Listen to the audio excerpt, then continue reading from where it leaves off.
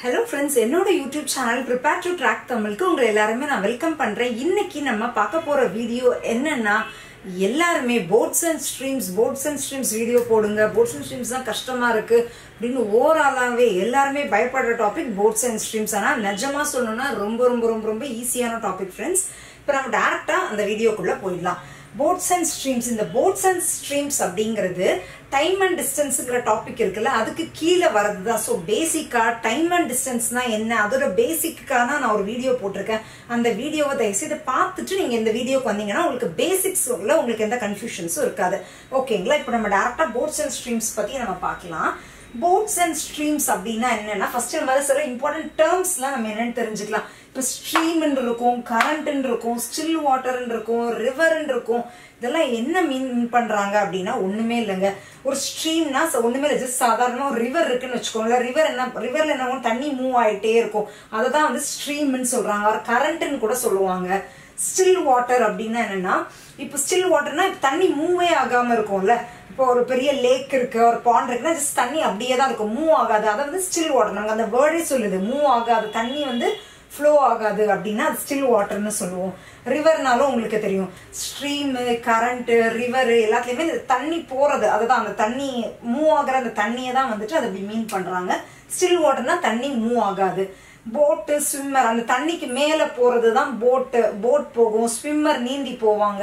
இதெல்லாம் உங்களுக்கு பேசிக்காக தெரிஞ்சுக்க வேண்டிய டேர்ம்ஸ் தென் இதில் ரொம்ப ரொம்ப இம்பார்ட்டன்ட் டவுன் ஸ்ட்ரீம்னா என்ன அப் ஸ்ட்ரீம்னா என்ன அதுதான். ஓகேங்களா டவுன் ஸ்ட்ரீம் அப்படின்னா என்னன்னா இப்போ நீங்க வந்துட்டு ஒரு போட் இருக்குன்னு வச்சுக்கோங்களேன். இப்போ ரிவர் வந்து ஒரு டைரக்ஷன்ல மூவ் ஆயிட்டே இருக்குமா? ஏதாவது இப்படி போயிட்டே இருக்குன்னு வச்சுக்கோங்களேன். நீங்க அதே டைரக்ஷன்ல போட்டு போதும் அதாவது அந்த தண்ணி போற போக்கிலேயே போட்டும் போகுதுன்னா அதுதான் நம்ம வந்து டவுன் ஸ்ட்ரீம்னு சொல்றோம்.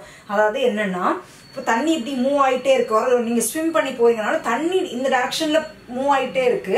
நீங்களும் அதே டைரக்ஷன்ல போறீங்கன்னா அது டவுன் ஸ்ட்ரீம்னு சொல்லுவோம். அப் ஸ்ட்ரீம்னு என்ன தண்ணி இப்படி இந்த மாதிரி ஃப்ளோ ஆயிட்டே இருக்கு. ஆனா நீங்க அப்படி ஆப்போசிட்டா நீங்க நீந்தி வரீங்க. ஆப்போசிட்டா போட் வருதுன்னா அது அப்ஸ்ட்ரீம்னு சொல்லுவோம். அதாவது அந்த தண்ணியோட ஃப்ளோ அது எப்படி பாஞ்சு போயிட்டு இருக்கோ அதை விட அப்படியே ஆப்போசிட்டா நீங்க வரீங்கன்னா அதான் அப்ஸ்ட்ரீம்னு சொல்லுவோம். ஓகேங்களா இதுதான். பேசிக்கா இதுதான் டெஃபினேஷனு நெக்ஸ்ட் வந்துட்டு ஸ்ட்ரீம் வந்துட்டு மூவிங்னு சொல்லுவாங்க ஃப்ளோயிங்னு சொல்லுவாங்க. அப்படின்னா தண்ணி போயிட்டு இருக்கு அதுதான். இது not flowing or moving still water அந்த மாதிரின்னு சொல்லுவோம் அப்போ தண்ணி போகலை அப்படியே நிற்கிது அதை பற்றி ஏதோ சொல்ல வராங்க அப்படின்னு அர்த்தம். ஓகேங்களா? இப்போ டவுன் ஸ்ட்ரீம் ஸ்பீடுனா என்ன? அப் ஸ்ட்ரீம் ஸ்பீடுனா என்ன? அப்படின்னா இப்போ டவுன் ஸ்ட்ரீம்னா என்ன சொன்னேன் தண்ணி போற போக்கிலே போறது. இப்போ ஒரு போட் இருக்குன்னு வச்சுக்கோங்களேன்ப்பா. இப்போ தண்ணி அதாவது தண்ணி இப்படி ஃப்ளோ ஆயிட்டே இருக்கு. நீங்க அதாவது நீங்க போட்டை நீங்க நகர்த்தவே இல்லை. அப்படியே தான் இருக்கீங்க. ஆனா தண்ணி வந்து ஒரு ரெண்டு கிலோமீட்டர் ஸ்பீட்ல போயிட்டு இருக்குன்னு வச்சுக்கோங்களேன். நீங்க போட் அப்படியே தான் இருக்கு. அப்படியே இருந்தாலும் தண்ணி போற ஸ்பீட்ல போட் அப்படியே அடிச்சுட்டே போகுமா? சோ டவுன் ஸ்ட்ரீம் ஸ்பீட்னா என்னன்னா தண்ணி போற அதாவது கீழே ஸ்ட்ரீமுக்குன்னு ஒரு ஸ்பீட் இருக்கு. அது ஸ்ட்ரீம்னா அந்த போற தண்ணி ஒரு ரெண்டு கிலோமீட்டர் ஸ்பீட்ல போயிட்டு இருக்கு. போட் அப்படியே தான் இருக்குன்னா கூட உங்களோட அந்த ஓவராலாக அதோட ஸ்பீடு என்ன எடுத்துக்கிட்டீங்கன்னா ரெண்டு கிலோமீட்டர்னு எடுத்துக்க முடியும். இதே இது நீங்கள் போட்டையும் நீங்கள் தள்ளிட்டு போறீங்கன்னு வச்சுக்கோங்களேன் போட்டை ஒரு நாலு கிலோமீட்டர் ஸ்பீடில் நீங்கள் போயிட்டு இருக்கீங்கன்னா போட்டோட ஸ்பீடு அது மட்டும் இல்லாமல் அந்த ரிவர் நீங்கள் போ நீங்கள் போட்டை நீங்க நகர்த்தவே இல்லைனாலும் ரெண்டு கிலோமீட்டர் ஸ்பீட்ல எப்படி போகுது? ரிவர் போற ஸ்பீடு ஸோ ரிவரோட ஸ்பீடு எப்படியும் ஆட் ஆயிக்குது இல்ல அதுதான் down stream speed down stream ஸ்பீடுனாலே ரெண்டு ஸ்பீடு ஆட் ஆயிக்கும். தண்ணி எப்படியுமே மூவ் ஆயிட்டு இருக்கு அதுக்குன்னு ஒரு ஸ்பீட் இருக்குமா? அந்த ஸ்பீடு கண்டிப்பா ஆட் ஆயிக்கும். அதுதான் டவுன் ஸ்ட்ரீம் ஸ்பீடு ஓகேங்களா டவுன் ஸ்ட்ரீம் ஸ்பீடு ரெண்டு அதாவது இப்போ அந்த ஸ்ட்ரீமோட ஸ்பீடு ரெண்டு கிலோமீட்டர் போட் ஒரு நாலு கிலோமீட்டர் ஸ்பீட்ல போகுதுன்னா ஓவராலா டவுன் ஸ்ட்ரீம் ஸ்பீடு என்னன்னா ஆறு கிலோமீட்டர் பர் ஆர் அவ்வளவுதான் ஃப்ரெண்ட்ஸ் அதான் அதோட டெஃபினேஷனும் sorry formula downstream speed is equal to speed of the boat plus speed of the stream. அந்த ஸ்ட்ரீமோட ஸ்பீடு இப்போ போட் வந்து ஒரு நாலு கிலோமீட்டர் இருக்குன்னா ஸ்ட்ரீம் வந்து ஒரு ரெண்டு கிலோமீட்டர் இருக்குன்னா டவுன் ஸ்ட்ரீம் ஸ்பீட் வந்து சிக்ஸ் கிலோமீட்டர் பெர் ஆர் அவ்வளவுதான். ஓகேங்களா இப்போ அப்ஸ்ட்ரீம் ஸ்பீட் அப்படின்னா என்னன்னா அப்ஸ்ட்ரீம்னா என்ன சொன்னேன்? அதாவது தண்ணி இப்படி போகுது நீங்க அப்படியே ஆப்போசிட்ல நீந்தி வரதான் அப்ஸ்ட்ரீம் அப்படியே எதிர்த்து வர்றது.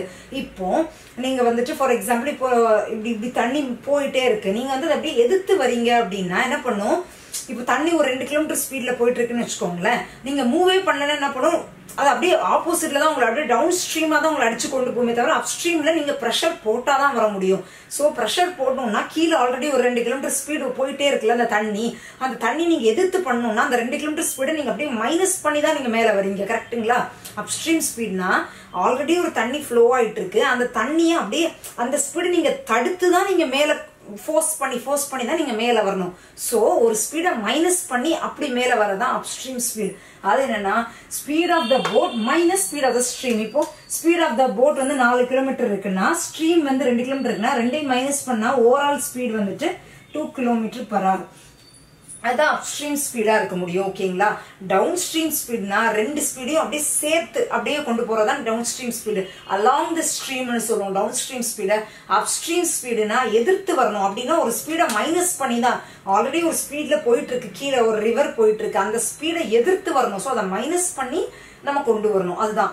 ஸோ அப்ஸ்ட்ரீம் ஸ்பீடுனாலே ஏதோ ரெண்டு ஸ்பீட் இருக்கும். அதாவது இந்த ஸ்ட்ரீமோட ஸ்பீடை நம்ம மைனஸ் பண்ணி தான் நம்ம வரணும். நம்மளோட போட் ஸ்பீடு ஸ்விம்மர் நீந்தி போறோம்னா அவரோட ஸ்பீட் மைனஸ் அந்த ஸ்ட்ரீமோட ஸ்பீடை மைனஸ் பண்ணி வரதான் அப்ஸ்ட்ரீம் ஸ்பீட் அவ்வளவுதான் ஃப்ரெண்ட்ஸ் இந்த பேசிக்கை நீங்க தெரிஞ்சுக்கிட்டீங்கன்னா எதுனாலும் நீங்க கிராக் பண்ணிடலாம் நெக்ஸ்ட் இன்னும் கொஞ்சம் ஃபார்முலாஸ் இருக்கு. அது என்னன்னு பார்க்கலாம். ஓகே இப்போ இந்த போட்ஸ் அண்ட் ஸ்ட்ரீம்ஸ்ல மொத்தமா ஒரு நாலு ஸ்பீடு வந்துட்டு எப்பவுமே மாறி மாறி மாறி வந்துட்டே இருக்கும். அந்த நாலு ஸ்பீடு என்னங்கிறது இப்ப பார்ப்போம். அது down stream speed up stream speed என்னங்கிறத நம்ம பார்த்துட்டோம். Next speed of the boat or speed of the boat in still வாட்டர்னு கொடுத்துருப்பாங்க. ஸ்பீட் ஆஃப் த ஸ்ட்ரீம்னு கொடுத்துருப்பாங்க. ஒண்ணுமே இல்லை ஃப்ரெண்ட்ஸ் மொத்தமாவே என்னது நான் நாலே நாள் தான். ஒன்று அந்த போட் ஸ்பீட் ஆஃப் த போட்டுன்னு ஒன்று இருக்கும். ஸ்பீட் ஆஃப் த ஸ்விம்மர்னு ஒன்று இருக்கும். நீந்தி போறனோட ஸ்பீடுன்னு ஒன்று இருக்கும்.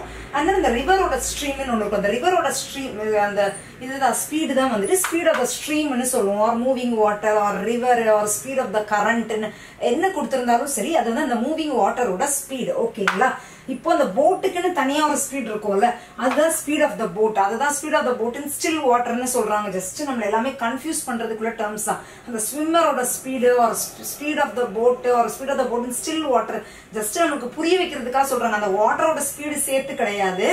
ஒன்லி அந்த போட்டோட ஸ்பீடு அப்படிங்கிறதுக்காக தான் இந்த சின் ஸ்டில் வாட்டருங்கிற வேர்ட்லாம் கொடுப்பாங்க. அது என்ன கொடுத்திருந்தாலும் நமக்கு தெரிஞ்ச அதே டேர்ம் தான்.